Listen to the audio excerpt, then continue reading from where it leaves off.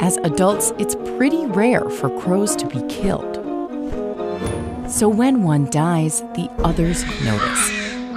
Are they just scared, or is something deeper going on? Kaeli Swift, a PhD candidate at the University of Washington, set up an experiment to find out. She visits a park in Seattle for a few days, leaving piles of peanuts for the crows. Then one day, Swift shows up looking very different. Wearing a mask and wig, she carries a dead taxidermied crow.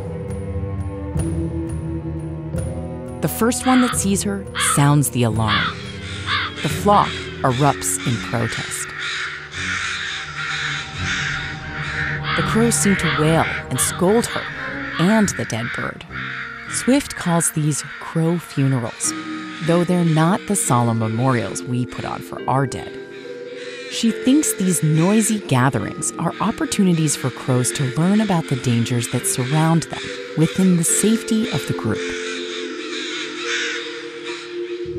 When an unmasked Swift returns to the park the next week with more tasty peanuts, the crows are quiet and wary. They seem to have learned there's something hazardous about this place. Still, they eat the peanuts, but they take longer to approach and seem to be much more suspicious. And when Swift returns wearing the mask, they lose it.